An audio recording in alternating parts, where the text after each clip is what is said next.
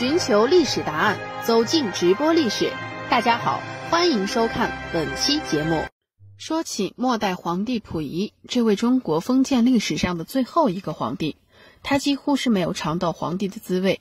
在其三岁的时候就已经登基继位，三年以后，因为辛亥革命的爆发，他的母亲隆裕太后答应了袁世凯的要求，同意了退位。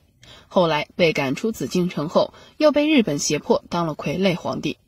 虽然还是皇帝，但是没有一点自己发言的权利。在一九四五年的时候，日本宣布战败以后，溥仪也被当成了战犯，关押到了收容所。在溥仪还在紫禁城当皇帝的时候，每天的吃饭都是由御膳房严格把关。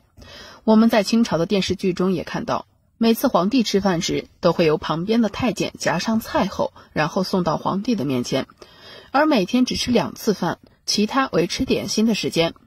如果皇帝饿了，就会告诉御前太监，然后一级级接力似的，最后传到御膳房。然而每天吃的菜肴都在三十种以上。如果遇上了大的节日或是特殊的日子，御膳房会准备出上百种菜肴。这些菜肴中大部分是肉食，而且有时还会有海鲜。对于这些菜，我们现代人已经感到并不陌生。可在古代中国，这些只有皇帝可以吃到。溥仪在那么小的时候，天天吃这些，已经感到非常油腻了。